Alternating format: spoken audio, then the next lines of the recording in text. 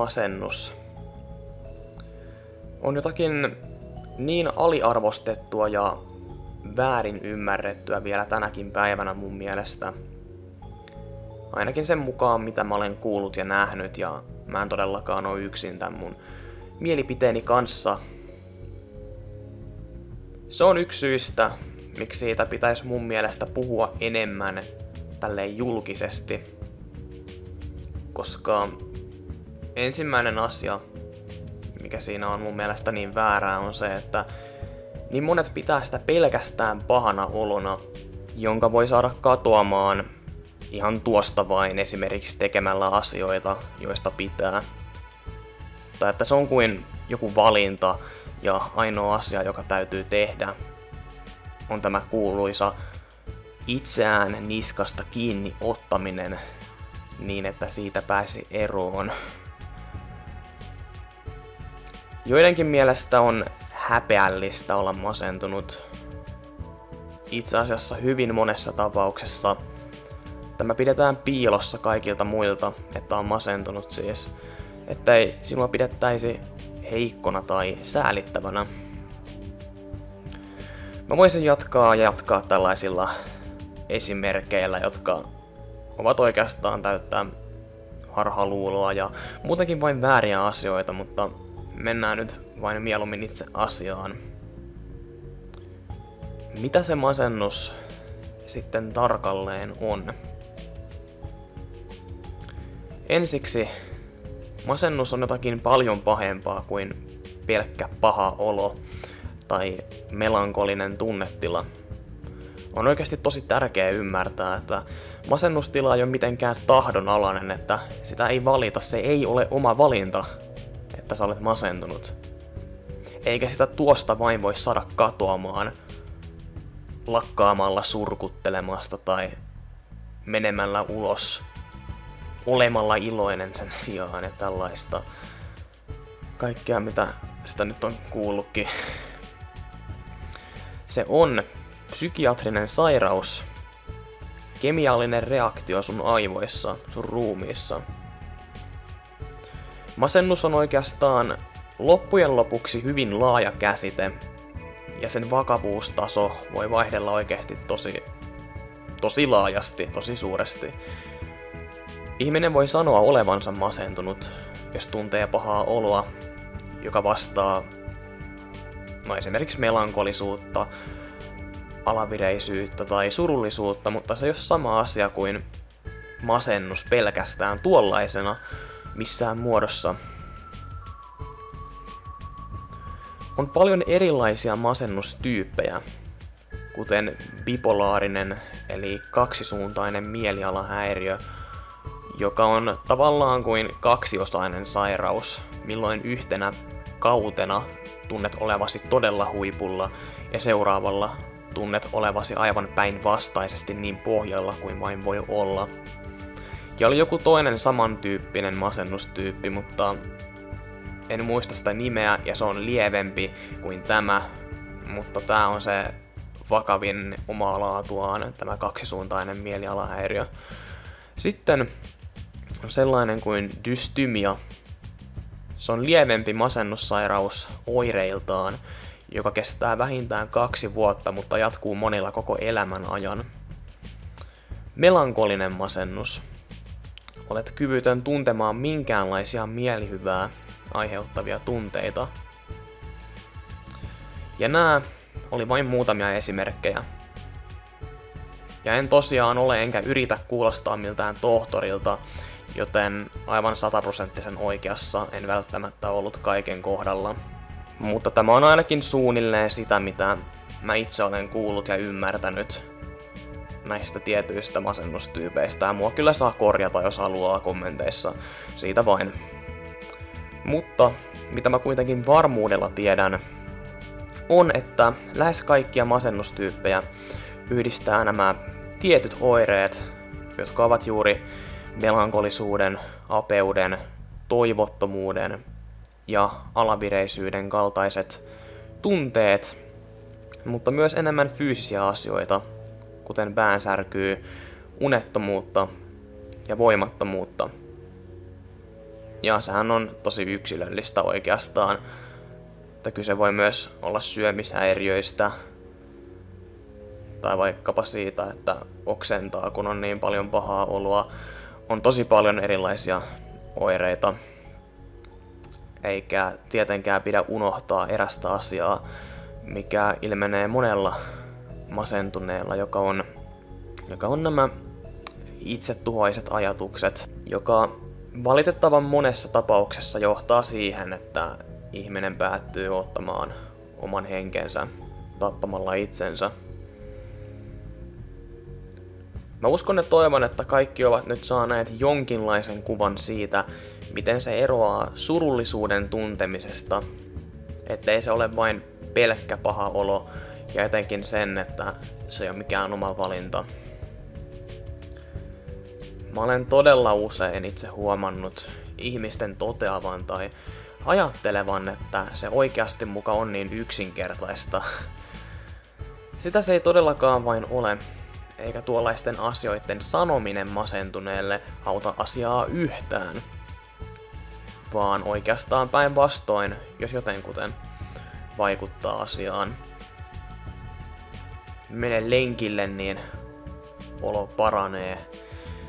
Lopeta jo tuo negatiivinen ajattelu. Ja etenkin tää, miten voit olla niin surullinen, kun sinulla on kaikki niin hyvin? Ajattele, miten lapsilla on esimerkiksi Afrikassa tai jotain sellaista. Tuollainen totaalinen vähättely, tilanteen vähättely ja etenkin tuo viimeinen esimerkki, vertailu, ei todellakaan auta asiaa yhtään. Mä oon huomannut niin paljon tilanteiden vähättelyä, mikä liittyy masennukseen, että se suoraan sanoen vaan vituttaa mua. Jossain päin maailmaa asiat ovat kieltämättä pahemmin kuin täällä Suomessa. Me kaikki tiedetään se, me ei olla mitään jälkeen jääneitä, mutta miten sellaisen asian tietäminen ja toteaminen kuuluisi auttaa omaa mielentilaasi ja tilannettasi yhtään mitenkään? Ei kukaan halua olla masentunut ja allapäin. Ei kukaan halua tuntea toivottomuutta, ei kukaan halua herätä joka aamu ja pitää itseään jälleen kerran onnettomana ihmisenä ja sitä, ettei elämä ole elämisen arvoista. Ei ne ole semmosia kivoja, positiivisia asioita, mitä me halutaan itsellemme. Siis se on niin yksinkertaista tajuta, että ei tossa ole mitään järkeä. Kun vähänkin pintaa syvemmälle raapasee, kun vähän enemmän miettii. Jollekin joku asia saattaa olla lievempi kuin toiselle, taas sama asia saattaa olla aivan kamalaa. Ihmiset on nimenomaan erilaisia. Vain siksi, että joku naapurin erkki selvisi masennuksesta, ei tarkoita, että joku toinen selviäisi siitä samalla tavalla. Mun mielestä on niin naurettavaa huomata, mitä jotkut vertailevat omia kokemuksiaan toisten tilanteisiin – Esimerkiksi just sosiaalisen median puolella tämä on tullut huomattua, kun internetissä on niin helppo avautua anonyyminä sun muuta. Yleensä se on mennyt niin, että vähätellään masentunutta henkilöä, verraten sitä omiin kokemuksiin, jotka eivät välttämättä edes paljon liittyneet kyseisiin asioihin. Tai ehkäpä liittyivätkin, mutta sen lisäksi, että kyseessä on kaksi täysin erilaista ihmistä, niin ei tuo vain tee mitään hyvää itse masentuneelle, eikä se oikeasti auta vaan yhtään. Mä en itse ole semmonen ihminen, joka kovinkaan helposti ää, laittaisi sosiaaliseen mediaan, ainakaan pelkästään itseni takia, mitään ilmoitusta omasta masentuneisuudestani tai ongelmistani vastaavaa, ellen ainakaan tietäisi, että sen tulevat lukemaan tai kuuntelemaan ainakin suurimmaksi osaksi sellainen joukko ihmisiä, mihin mä pystyn kunnolla luottamaan jotenkin. Mutta en tajua, että mitä mielihyvää itselleen siitä pitää kahmia, että mennään vähättelemään toisten ongelmia, ihan ylipäätänsä, ei vaan sosiaalisen median puolella. Miksei tällaisen sijaan voi esimerkiksi vain entäpä jos vaikkapa kuuntelis heitä. Että oikeasti onko aina se oma napa niin vitusti paljon tärkeämpi? Oman mielihyvän ja tietämättömyyden takia oikeastaan hyvin monessa tapauksessa. Niin pitää alkaa tekemään tällaista. Se on mun mielestä vaan ihan uskomatonta, ainakin kun se menee tiettyyn pisteeseen, etenkin kun se menee fyysiseksi. Ihmisten täytyy oikeasti vaan lopettaa tällainen vertailu, vähättely ja tällainen alas katsominen ylipäätänsä. Kaveri on masentunut. Vittu se on varmaan säälittävä.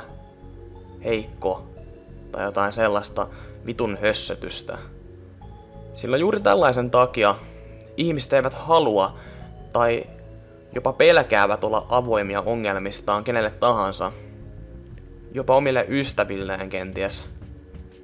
He eivät halua, jaksa tai pelkäävät kuulla sitä samaa hössötystä nimenomaan, ettei heitä oteta tosissaan, vähätellään, alas katsotaan sitä rataa, joka ei todellakaan johda mihinkään muuhun kuin huonoon. Ja pahimmissa tapauksissa pelkästään tällainen, siis ihan oikeasti, voi johtaa ihan itsemurhaan. Masennukselle on niin paljon eri syitä. Joillakin se on ehkäpä jo syntymästään asti ollut sairaus, josta ei pääse eroon. Joillekin se on tullut elämän aikana tietyistä tapahtumista johtuen, jotka jättää arpia koko loppuelämän ajaksi. Joillakin se on väliaikaista, johtuen kenties hankalasta elämäntilanteesta, joka voi tuntua esimerkiksi toivottomalta. Vaikka lähes jokaisella masentuneella on ainakin jonkin verran niitä samoja oireita, niin kuten on jo tullut mainittua, niin se on hyvin yksilöllistä, kuten miksi ja miten on masentunut. Ja se on oikeastaan myös aika tärkeä muistaa, että kyllähän mä sanoisin, että varmaan jokainen ihminen tuntee jossain vaiheessa elämäänsä jonkinlaista masennusta. Että se on myös hyvin normaali asia. Mutta vaikka se onkin tosi normaali asia, niin se tuntuu olevan niin väärin ymmärretty. Kuitenkin itse masennus on tosi laaja käsite, joten sinänsä ymmärrän, että miksi niin monet ihmiset eivät tarkalleen tiedä mikä masennus on, kun se ei ole vain se yksi juttu. Itse olen menneisyydessä ollut aika paljon masentuneena. Se on enimmäkseen ollut sellaista jaksottaista masennusta, jonka on saanut aikaan muun muassa todella hankalat, surulliset ja toivottomat tilanteet elämässä. Mutta pahin jakso oli ehdottomasti oikeastaan suurin osa peruskouluajasta. Kun sitä ajattelen, niin mä olin oikeastaan masentunut koko alaasteen ajan varmaan, vaikka en tiedostanut sitä ennen kuin tulin neljännelle luokalle, koska silloin minulla diagnosoitiin krooninen masennus. Ja se on ollut mulle vähän sellainen arka aihe, eikä oikein muutenkaan aihe, josta mä olen jaksanut tai viitsiä, viitsinyt kertoa kovinkaan monelle, tai ihan yksinkertaisesti halunnut kertoa kovinkaan monelle. Mä ahdistuin pienenä hyvin helposti mä ylijännitin aika lailla kaikkea uutta ja etenkin sosiaalisia tilanteita. Joka arkipäivänä kun mä menin kouluun, niin se oli oikeastaan aika tuskallista. Aamulla tuntui aika usein, oikeastaan suurimman osan ajasta, siltä, että mulla olisi joku vatsataudin tyylinen tunne sellainen voimakas kemiallinen reaktio, jolle mä en vaan voinut mitään. Enkä todellakaan tiennyt yhtään, mitä tehdä asialle silloin. Mä pyrin pysyttelemään muista niin kaukana kuin mahdollista. Välitunneilla vetäydyin oikeastaan enimmäkseen omiin oloihin ja saatoin ihan helposti mennä päiviä silleen, että mä en puhunut sanaakaan koulussa kenellekään. Se oli ihan täysin normaalia silloin ja etenkin juuri ala-asteella, vaikka myös yläasteella ilmeni tätä. Ahdisti, tuntui kurjalta ja joka koulupäivä oli jollain tavalla kivuliasta. Mulla oli viidenteen luokkaan asti kavereita, joiden kanssa mä liikuin oikeastaan enimmäkseen opettajien ja vanhempien vaatimuksien takia välillä.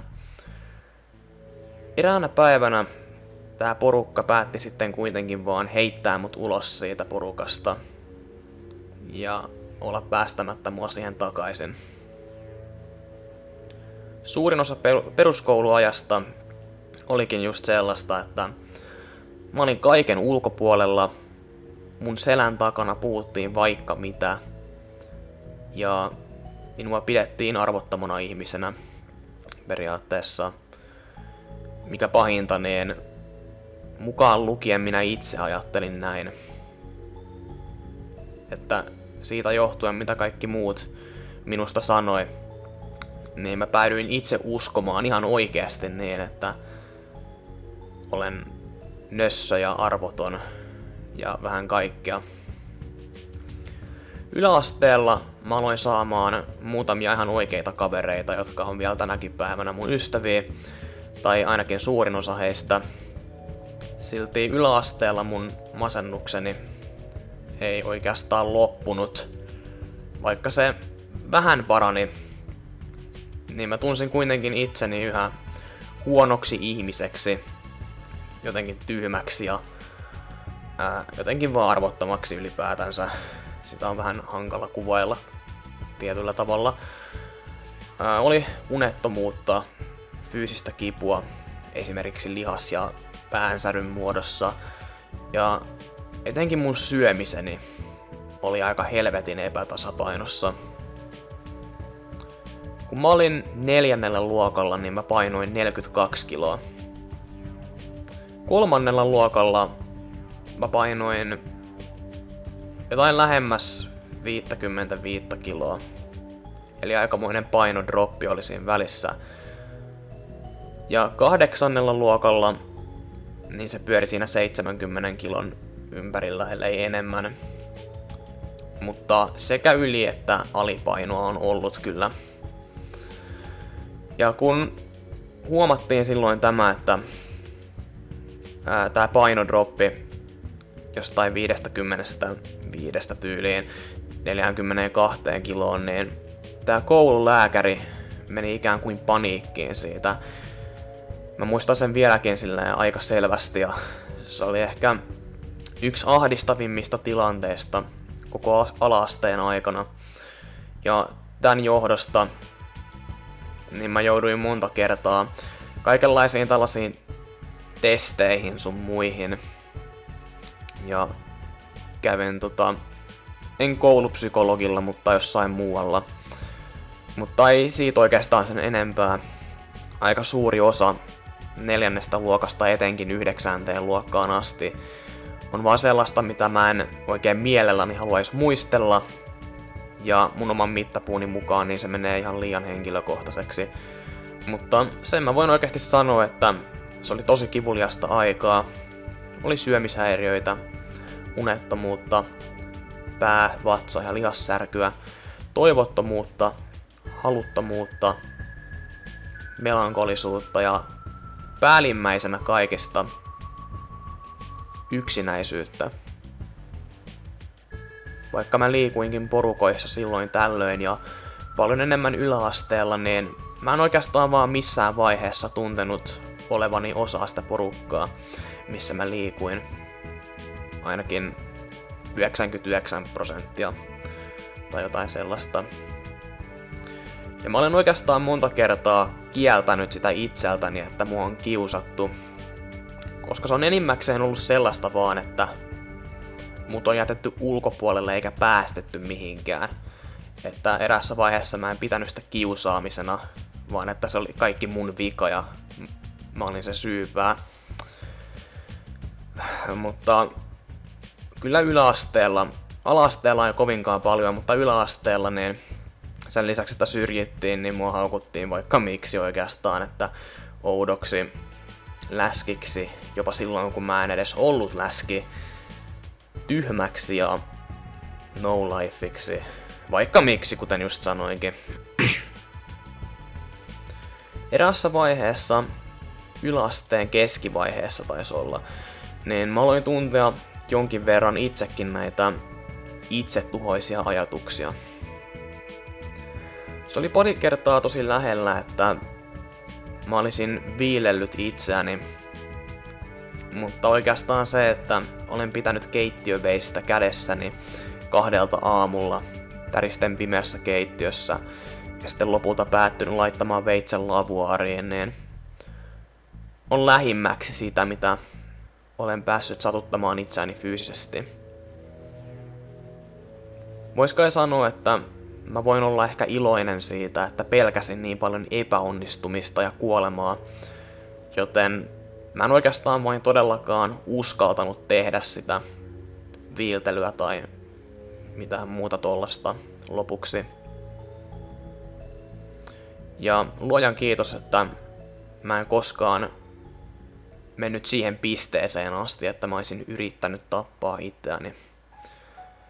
Vaikka se pyöri paljon mielessä eräässä vaiheessa, niin jäi se vaan sitten päähäni lopuksi. Mutta kuitenkin se, että se vain, niin kuin vain jäi päähäni, aiheutti niin paljon henkistä kipua, että, että sitä ei voi kuvailla ehkä välillä. Mä halusin vaan pois tästä maailmasta, mutta mä pelkäsin tehdä sen noin. Ja pidin sitä jotenkin pateettisena ja luuserimaisena ja kaikkea. Enkä mä voinut tai oikeastaan halunnut kertoa siitä kenellekään. Ensiksi siitä, että mä en halunnut, mä en halunnut huolestuttaa ketään tai joutua pilkatuksi sen takia, että mä osoittaisin heikkoutta muille. Mutta Nämä on oikeastaan vaan vääriä asioita tehdä kuitenkin. Sillä jos alkaa padota kaikkia negatiivisia tunteitaan tällä tavalla, niin se tuhoaa sua hapon lailla sisältä.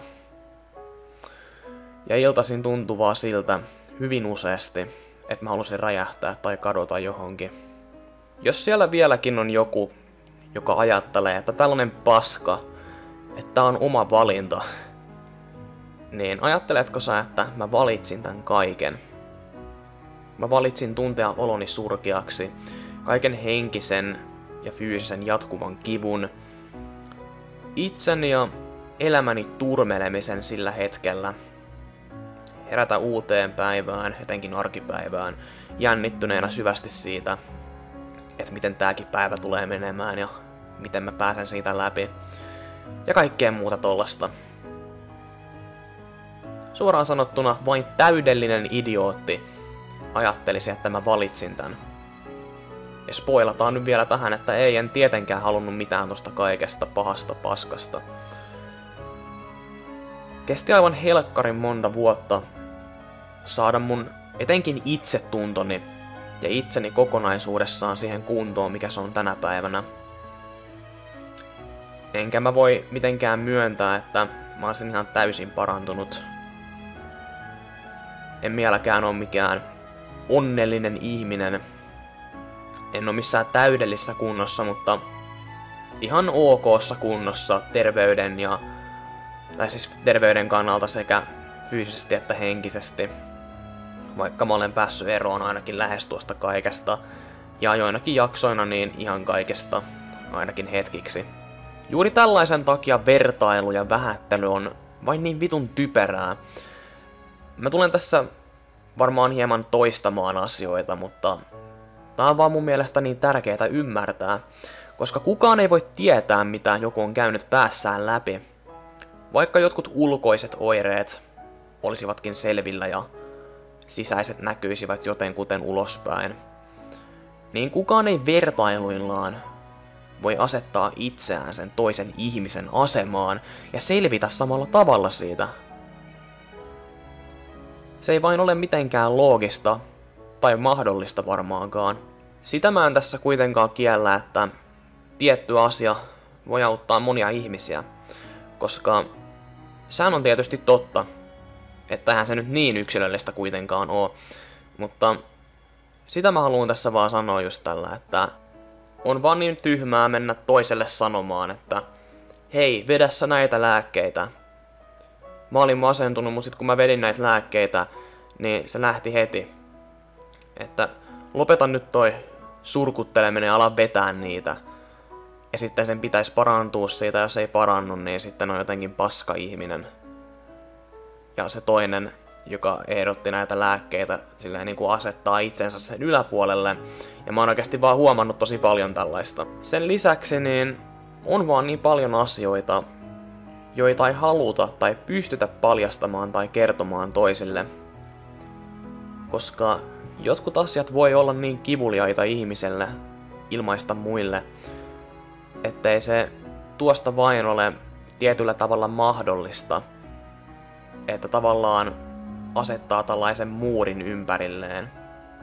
Useimmissa tapauksissa me luodaan itsellemme tällainen kuori, joka kätkee tämän masennuksen syvälle sisäämme.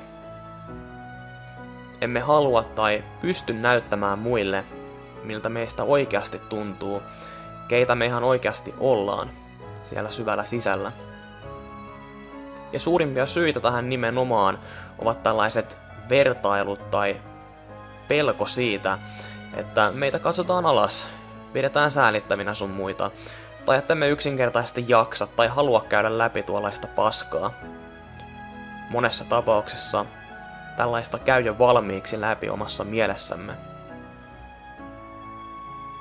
Tällaisen turhan vertailun ja alaskatsomisen takia ihmiset, jotka oikeasti tarvii apua, tukea, välittämistä ja rakkautta, niin eivät edes itse halua tai pysty ilmaisemaan haluavansa sitä tai oikeastaan tarvitsevansa sitä. Ja jos he tekevät niin, niin saa suuri, ellei suurin osa, hyvin todennäköisesti vain vitusti paskaa niskaansa, joka vain pahentaa tilannetta. Mun mielestä tällaisen vaan täytyy loppua. Tähän loppuun mä haluan vielä antaa jotain mun omia neuvojani jotka ei nyt siis tietenkään takaa sitä, että tästä masennuksen syvästä pimeästä kuopasta pääsisi kuka tahansa ylös. Minä pääsen suurimmalta osalta ainakin, mutta kuten tässä nyt on monesti tullut puhuttua tästä vertailusta, niin eihän se takaa, että joku muu pääsi sitä samalla tavalla jotenkin ylös. Kuitenkin mä olen melko varma, että nämä asiat auttaa edes jotenkin lievittämään melkeinpä kenen tahansa tilannetta. Ja jos joku masentunut henkilö nyt tosiaan katsoo tätä, niin vaikka mä en tunne sua, niin mä haluan vaan oikeasti yrittää auttaa edes jollain tavalla. Kun mä en halua, että kukaan kokisi samoja tai vastaavia asioita, mitä minä olen itse kokenut. Ja jos tiedän, että joku kokee tai on kokenut, niin vähintä mitä haluan tehdä on edes yrittää antaa jonkinlaista lankaa, josta voi ehkä tarttua. Ja se on se syy, miksi mä kerron näitä mun neuvoja. Ensimmäisenä mä mainitsen ihan yksinkertaisen asian, joka tosin monelta tuntuu unohtuvan helposti. Tää kuitenkin auttaa vaan väliaikaisesti, mutta sillä ei sinänsä ole mitään sivuvaikutuksia ainakaan. Se tosin vähän riippuu, että mitä tarkalleen tekee, mutta ylipäätänsä vaan sitä, että tekee jotain, mistä todella tykkää tai rakastaa ja keskittyy siihen ja antaa sille kaikkeensa. Koska se ei ainoastaan saa ajatuksia muualle ja pitäisi aiheuttaa hyviä tunteita, vaan antaa sulle jotain hyvää, mitä rakentaa eteenpäin elämässään. Toiseksi, jos kaikki tuntuu oikeasti toivottomalta, eikä oikeasti tiedä mitä tehdä asioille itse, niin kannattaa hakea apua. Ihan minkälaista apua tahansa, kunhan ei jätä niitä ajatuksia oman pääkoppansa sisälle.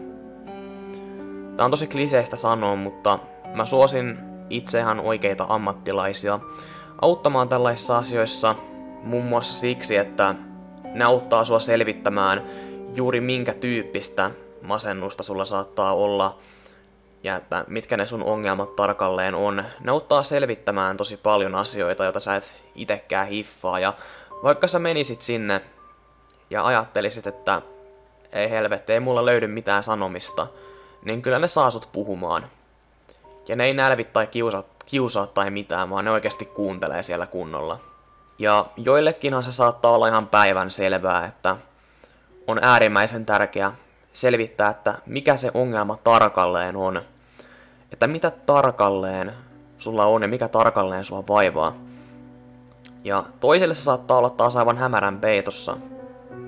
Koska kun on kaikenlaisten negatiivisten tunteiden myllertämänä, niin siinä unohtuu ja voisiko sanoa, että yli katsoo tosi paljon yksinkertaisiakin asioita, semmosia tosi simppeleitä juttuja, uskokaa pois, mä oon ollut molemmissa tilanteissa, että mä en oo yhtään tiennyt, että mikä mua vaivaa, ja sitten, että mä oon todellakin tiennyt, mutta niin siis pointtina kuitenkin, että se on aika tärkeää tietää, mistä syistä johtuen sulla on masennusta ja minkälaista, minkä tyyppistä.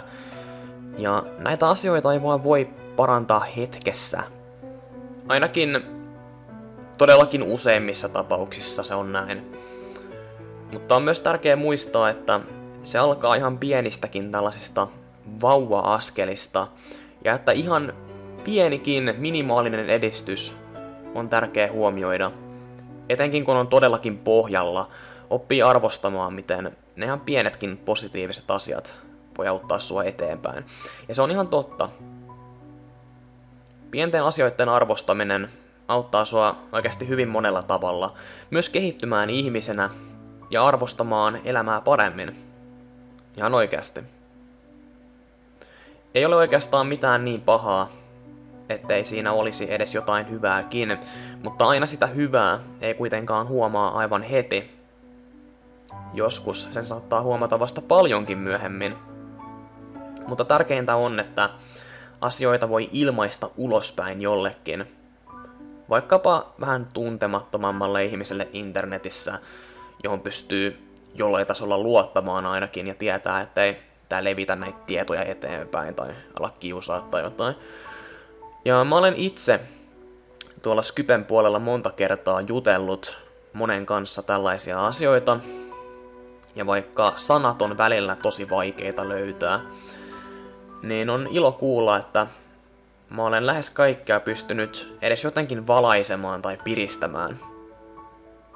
Mä en hyväksy kaikkia Skypen kontaktipyyntöjä, mutta siinä kontaktipyynnön lähettäessä tulee mukana viestiä siitä, että haluaa puhua mun kanssa tällaisista asioista, niin mä yritän oikeasti auttaa mielelläni ja hyväksyn silloin sen pyynnön varmasti. Tärkeintä on kuitenkin, että on joku luotettava henkilö, jolle pystyy puhumaan ongelmistaan, koska se on oikeasti tosi vaarallista antaa tunteiden padota. Uskokaa pois. Kolmantena asiana mä mainitsen nämä masennuslääkkeet.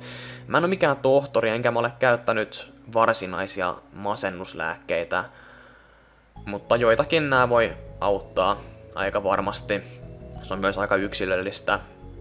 Mutta mitä mä olen itse käyttänyt, niin on just näitä unilääkkeitä ja stressiä sekä ahdistusta lieventäviä lääkkeitä. Ja jotkut on auttaneet ainakin jonkin verran. Ja kuten juuri sanoin, niin tämähän on tosi yks... Tää on hyvin yksilöllistä, ja mä oon kuullut juttua, että lääkkeisiin, näihin masennuslääkkeisiin nimenomaan saattaa jäädä koukkuun helposti, mutta en tiedä varmuudella. Mitään tiettyjä merkkejä tai lääkkeitä mä en ala tässä mainitsemaan, koska ne asiat on oikeasti parasta selvittää itse. Neljäntenä eräs asia, joka on tärkeää muistaa, missä tahansa tilanteessa, vaikka saisikin apua muilta, lääkkeistä tai omista harrastuksistaan mielihyvää. Pääroolissa kaiken keskipiste, suurin vaikuttaja omaan tilanteeseesi, olet sinä itse. Tällaiset asiat voivat olla ja ovat hyvin usein helvetin vaikeita.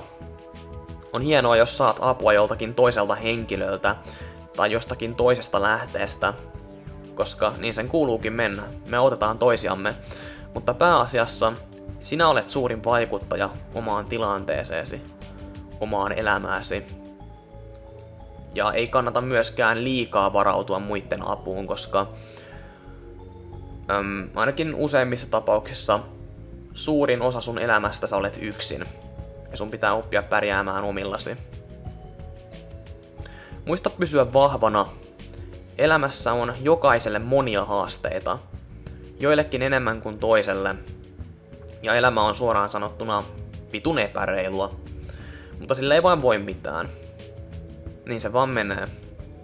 Toisaalta sekin on aivan totta, että eniten kärsineet ihmiset tuppaavat olemaan niitä henkisesti vahvimpia, vahvimpia mitä olen huomannut, ja ehkäpä myös kilteimpiä ihmisiä ikinä, jotka todellakin oppivat tietämään elämästä tärkeitä asioita.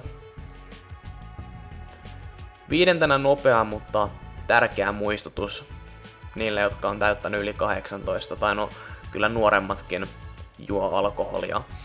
Mutta pointtina kuitenkin, että älä missään nimessä yritä unohtaa murheitasi alkoholin avustuksella. Koska alkoholi on niin sanotusti tällainen depressant, eli se voimistaa masennuksen tunnetta.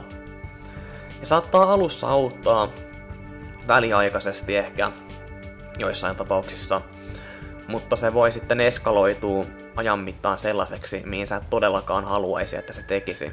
Se ei ole oikea keino missään nimessä, vaan pahentaa yleensä asioita. Joissain tapauksissa, mitä on huomannut, niin aika paljonkin. Kuudentena asiana on pakko mainita, että masennus ei ole merkki heikkoudesta. Älä koskaan ajattele näin. Mä haluan tällä vaan sanoa, että sä et ole heikko ihminen, jos sua masentaa. Tietyllä tavalla päinvastoin, koska opimme tulemaan vain vahvemmiksi tämän masennuksen tuottaman kivun kautta. Koska mikä ei tapa, vahvistaa kyllä. Viimeiseksi mä haluan sanoa vielä pari asiaa. Jos sulla on masentunut ystävä, tai tiedät jonkun masentuneen ihmisen, niin mene puhumaan hänelle ja kuuntele häntä oikeasti. Älä anna hänen ajatuksien, muiden tai hänen itseään tuhota häntä tai läheisiään. Ihan oikeasti. Äläkä etenkään vertaile tai rupea vähättelemään tilannetta, vaikka tekis mieli, koska se ei oikeasti ole oikea ratkaisu. Ja monethan sanoo, että itsemurha on itsekääntä, mitä joku voi tehdä. Ja saattaa kenties olla totta, mutta mun mielestä oikea kysymys kuuluu, kuka oikeasti on itsekäs, jos saa ihmisen sellaiseen tilaan, tai antaa ihmisen vajota sellaiseen tilaan? Ei pelkästään itsekästä, vaan niin väärää ja julmaa myös. Itsemurhahan ei nimenomaan ole todellakaan missään nimessä oikea ratkaisu, mutta maailma on epäreilu, eikä kaikki mene aina kuten saduissa. Mutta me voimme kuitenkin yrittää vaikuttaa tähän juoneen, ja meidän pitäisi ehdottomasti tällaisessa tapauksessa. Välillä se toisaalta on aivan helvetin vaikea huomata, kun ihminen kätkee sellaista sisälleen. Mutta silloin kannattaa vähintään vain olla siellä. Olla siellä tukena ja kuunnella. Koska ihan sellaisetkin, mitkä ainakin jollekin voi tuntua pieniltä asioilta, niin on paljon suurempia tällaisessa kuvassa. Ja kannattaa oikeasti olla hereillä välillä tiettyjen ihmisten kohdalla. Ja vielä, sä olet arvokas ihminen. Jos ajattelet toisin, et vain vielä tiedä sitä. Tää on jotakin niin kliseistä sanoa kenties, mutta se on oikeasti totta. Me kaikki ollaan oikeasti omalla tavallamme korvaamattomia ja arvokkaita tietyllä tavalla, mutta me ei vaan tajuta sitä, kun tämä masennuksen pimeä varjo valtaa meidän ajatuksemme ja itsemme.